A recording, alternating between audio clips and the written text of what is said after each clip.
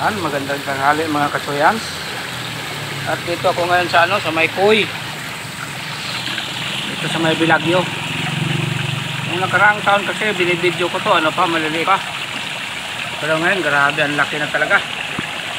Mayroon na yung tag isang kilo yung isa, mga kasuyans. At ano, marami sila oh. Dami. Siguro may mga ano, mga isang daang piraso. Yan. Ayan oh. Ang laki oh. Yun, laki-laki. Puti-puti. Ayan pa, buntis. Grabe.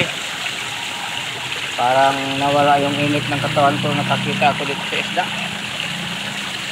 Saka malamig din yung lugar nila kasi mayroong ano, puno ng kahoy oh.